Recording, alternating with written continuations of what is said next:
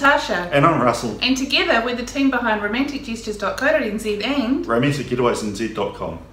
For the last almost four years, we have been working on romanticgestures.co.nz and romanticgetawaysnz.com. Um, uh, romanticgestures.co.nz originally um, was getting a little bit too big, having everything romantic compacted into one. So we decided to split the site into two.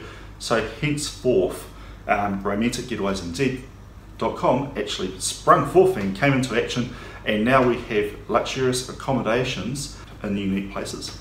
We have built the websites ourselves, learning everything ourselves as we go along.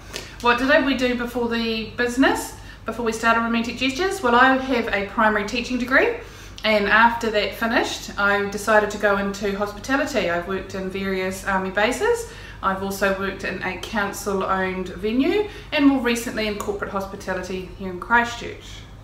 Russell? I was an owner driver for CourierPost uh, for two, two to three years and also I have an army career. Um, at this stage, I've been in the army for about 16 years, mostly inventory management, um, and and also I am currently studying the Bachelor of New Zealand Business degree, and maintain, maintaining the skills of the business and actually incorporating what I've been taught into action. That's fantastic. Thank you, Russell. Thank you, Natasha. Hey, pro tip, um, well, if you're thinking about starting a business, you need to gauge the needs, the wants of what you have on offer. And basically to do that, a bit of market research is, is required.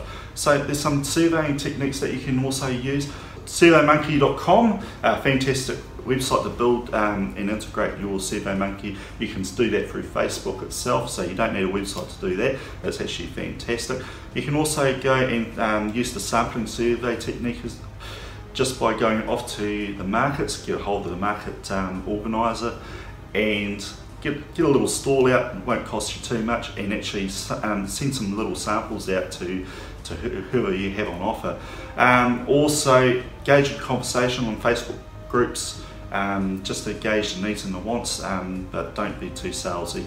Also, there's Facebook polls as well. All right, hey, it's uh, Russell and Natasha, and thanks for having us.